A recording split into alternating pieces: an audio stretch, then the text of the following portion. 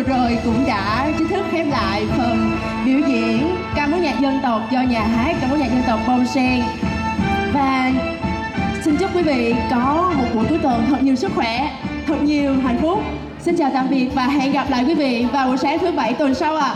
The Pharmacy and Dance Program and here and we wish all of you good health and success. Goodbye and see you next Saturday morning.